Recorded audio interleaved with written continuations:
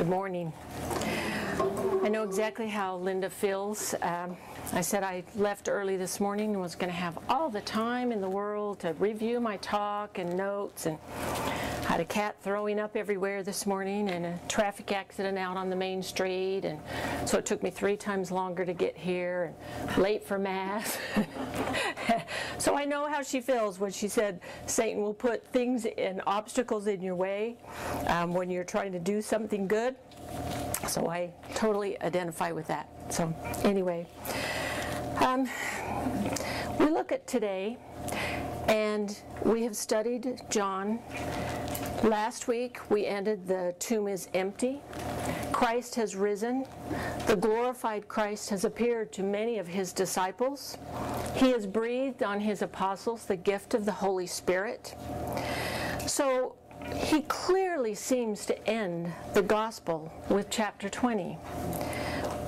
He, um, the gospel writer has ended his testament of Jesus of Nazareth so convincingly and so compellingly. He has told us that Christ is the Messiah, Christ is the Son of God, He is the Word of God who has come and through His death and resurrection has given us salvation. So, chapter 21 seems a little strange. Why would he go on and add one more chapter? The scholars all agree that this chapter was a later addition, probably added by someone in the beloved disciples community. But that there were some very special things that this writer wanted to make known and included in this gospel. One of them was to demonstrate that the uh, reality of the, the resurrection. There had been very many who had said that the appearance of the risen Christ was nothing more than the visions of the disciples. And there were also other reports that the appearance of Christ were even hallucinations. So the gospel writers all went out of their way to insist that the risen Christ was not a vision, not a hallucination, not a ghost, nor even a spirit, but he is a real and tangible person. That he still has, that he has a real body, which still has the marks in the hands and in the, the, the side where the um, spear was thrust. And so that is one of the main reasons they got, went on. We see another resurrection appearance here in chapter 21. It is proof that, that he has conquered death and that he comes back to his disciples yet again. So, as the chapter begins, we find the disciples fishing by the Sea of Tiberias. Fishing venues were often portrayed throughout the Gospels. In the fishing scenes, Jesus calls his disciples at the beginning. He says, Come, follow me, and I will make you fishers of men. Most of them begin their ministry with Jesus while fishing, and they will conclude their uh, ministry in this gospel beside the sea in much the same venue. The word in Greek for fish is ichthus. It has several translations in English. One of the most popular translations is Jesus Christ, God's Son, Savior. And the fish motif became very popular in early Christianity. The followers of Christianity were called Piscokiles. The root of this Latin word means fish. The fish symbol was simple to draw and it was often used by the Christians as kind of a password to each other. If two people met and they didn't know if each other were Christian, the first person would simply draw an arc, much like this, in the ground. And if the other person were indeed a Christian, they would finish that arc into the sign of a fish. And that would tell each other that they were indeed Christians. And we still see this very simple symbol in Christianity used even today. But that's the origination, that's where we got it from. In our chapter today, Peter is leading the other disciples on a fishing expedition. We know that in John's Gospel there are often two meanings. There is one on the simple meaning on the surface and obvious by the story, but there's also a deeper, hidden, and sometimes very spiritual meaning. Today, the deeper and spiritual meaning of Peter leading them is to show that he will lead the apostles and the church in the mission of evangelization. In the book of Acts, chapter 10, Peter has a vision, the same vision three times, in which God communicates to him that the people of all races are now to be included into the church. Not the church is not just for the Jews. It is to begin with Peter in Jerusalem and to spread out to all people of all nations, and Peter is to head that evangelization. So at daybreak, the risen Christ goes in search of his disciples to encourage them and ultimately to tell them more about the great mission that he is going to entrust to them. He called them to be fishers of men. Yet in the Gospels, you will notice that the disciples never catch anything without the help of the Lord. Early in, in Luke chapter 5, Jesus is in the boat with his disciples fishing, and they are unsuccessful until he tells them to cast their nets into the deeper water, and their nets come up filled with fish. In today's episode, Jesus from the shore tells them to cast their nets on the right side of the boat, and their nets come up filled, overflowing with 153 kinds of fish. The fathers and doctors of the church have often pondered and written on the meaning of them including 153 fish. There's very many reasons that they've come up with that, what it meant. Two of the reasons they have meant, uh, they have come up with. St. Jerome said that the Greek zoologists had cataloged 153 different kinds of fish and that the catch includes one of every kind of fish, therefore symbolizing the totality and the range of the disciples' catch.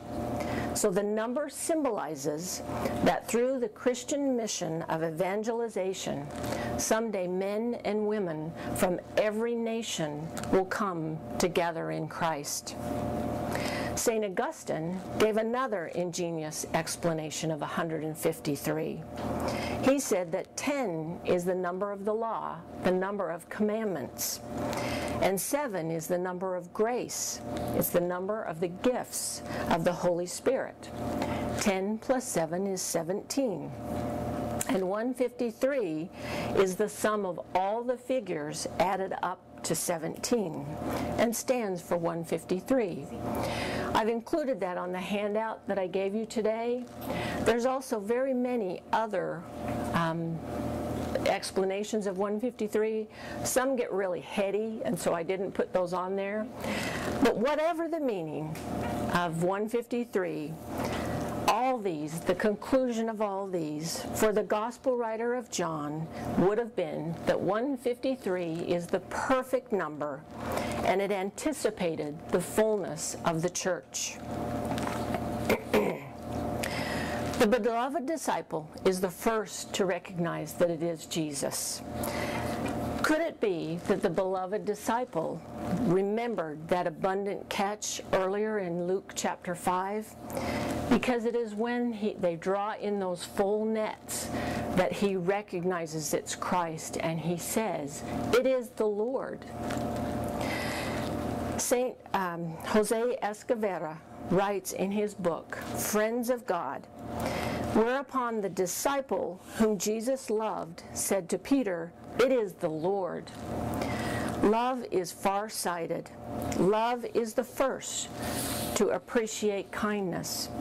The adolescent apostle loved Christ with all the purity and tenderness of a heart that had never been corrupted. When Simon Peter heard that it was the Lord, he put on his clothes and sprang into the sea. Peter personifies the faith, full of marvelous daring. Escovedo writes, with a love like John's and a faith like Peter's, what is there that could ever stop us? Jesus shares a meal with the disciples. And when they are finished, he turns to Simon Peter and says, Simon Peter, or Simon, son of John, do you love me? And Peter answers, Yes, Lord, you know I love you. The New Testament was originally written in this, the language of Greek, and in Greek has several words for the uh, for love, but the three most common are philia, eros, and agape, or agape, uh, agape, whichever you prefer. Philia means friendship. It includes loyalty of friends, family, and community. And it's where we get the name Philadelphia for city of brotherly love. Eros is the passionate and romantic love for someone whom you love more than the philia friendship. Agape means I love you, as in you love your spouse and your children and very dear ones. In Christian love, agape means to love your neighbor as you love yourself. It is self sacrificing love for one another. So let's look back at the conversation between Christ and Peter. Jesus says, Simon, son of John, do you agape love me? That's the Greek word he uses in the Bible. Do you have self sacrificing love for me? And Peter answers, Yes, Lord, you know that I philia love you. I am very fond and loyal to you. Jesus asks again, Simon, son of John, do you agape love me?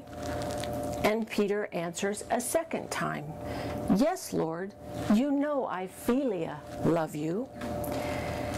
And then Jesus looks at Peter and says, Simon, son of John, do you philia love me? And Peter responds, Lord, you know everything. You know I philia love you. It's not that Peter doesn't have agape love for Christ, but at the Last Supper, he thought he had agape love and courage when he told Jesus, Lord, I will lay down my life for you. And Jesus looks at him and basically says, Peter, I know you better than you know yourself. I know that you don't have agape love and courage for me. I know you won't lay down your life or die for me. You will kill for me. Remember, it was Peter that had cut off the ear of the man in the Garden of Gethsemane. Yes, Peter, I know you, and you will deny me three times. So this time, Peter doubts himself when Christ asks him. He doesn't want to fail Christ again or make a fool of himself again. So he asks, answers three times. He has filial love for Christ or brotherly love. He is not willing to pledge self sacrificing love sufficient to lay down his life again. However, Christ knows that Peter is a different and stronger person now. He is now acting with the influence and power of the Holy Spirit. He will indeed go on to lay down his life for the church and for his Lord, Jesus Christ. The indwelling of the Holy Spirit is the difference. And the indwelling of the Holy Spirit should change the life of every Christian to make us more mature followers and allow us to act out of His Spirit, not out of our human spirit. the biblical symbolism, when something is mentioned three times, is as in Christ asking Peter do you love me three times, is meant to show that God is strengthening and confirming something. Christ is indeed strengthening and confirming Peter. to be more than a fisher of men. He is to become the shepherd of Christ's flock, which is our church. A fisherman catches fish, but he does not take care of the fish in the same way that a, a shepherd tends and cares for his sheep. Peter is not assigned this mission because of his special worthiness, because of his failure and denial of Christ three times and then reconciliation and pledging his love. Rather, it is, shows that Christ can work through weakness and failures. He calls the weak and makes them strong. The difference now is that Peter has the indwelling of the Holy Spirit. The first call and the last call that Peter will receive from Christ is follow me. I heard Father Richard Rohr give a talk titled The Cosmic Christ. In it, he said that many people believe that Christ is Jesus' last name. But he stated, Jesus is the historical person who came, walked the earth, performed miracles, taught us about the kingdom of God, and died for our sins. The historical Christ is who we have studied this year in Cornerstone. Went on to say that Christ is the risen Christ, whom the spiritual and the material coexist, and is ever expanding to include all people and all of creation. This Christ loves all people Christians, Muslims, Jews, Hindus, agnostics, and yes, even atheists. He said God created them all and He loves them all. We too must love everyone as a child of God. He said that Christ is the one who we as Christians must fall in love with and the one who we must serve every day. But one of the most profound things that Father Rohr said, at least for me, was that Christ never said, Worship me.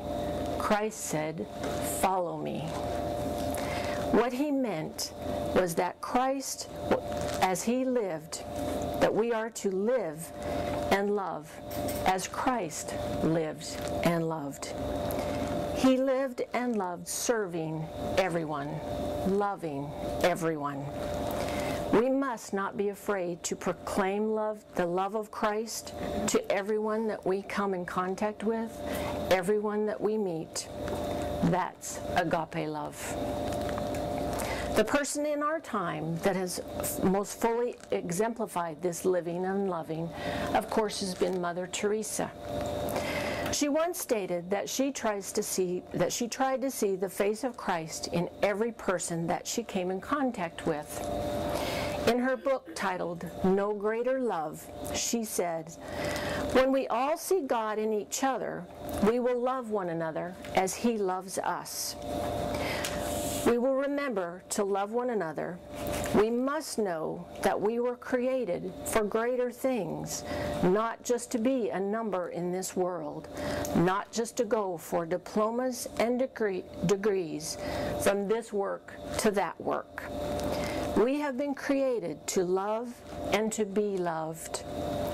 Our works of charity are nothing but the overflow of our love for Christ from within. But for charity to be fruitful, it must cost us. That's sacrificial love. That's agape love. Every day, Christ presents himself in some way to each and every one of us and asks, Do you agape love me? Do you have the faith and commitment in your life to give up your life and your personal aspirations to serve me? And how do we most often answer him? Yes, Lord, you know I philia love you. Ask yourself, what will it take for me to totally give myself to Christ so that there is less of me and more of Him. What will it take for me to authentically follow Him? and to authentically love Him, to agape love Him. We all have different levels of faith. We are all on different journeys in our lives, but we all have only one question Do you agape love Christ? If you do, then follow Him. Let us pray. In the name of the Father, Son, Holy Spirit. Gracious and loving God, Father, we come before you this day with hearts full of love, praise. At the end of this beautiful gospel that the writers have given us, our hearts are so so full of love and knowledge and we wished that you give us the Holy Spirit to go on to every day plead, pledge our life to you and that we can see the ways, the very many ways, simple and sometimes complicated, that you ask us to serve you. Please give us the courage to stand up and serve you in whatever way that you ask us to. So as we finish the book, we give you all the praise, all the glory, and thank you for calling us to this study. And these things we pray in Jesus' name. Amen.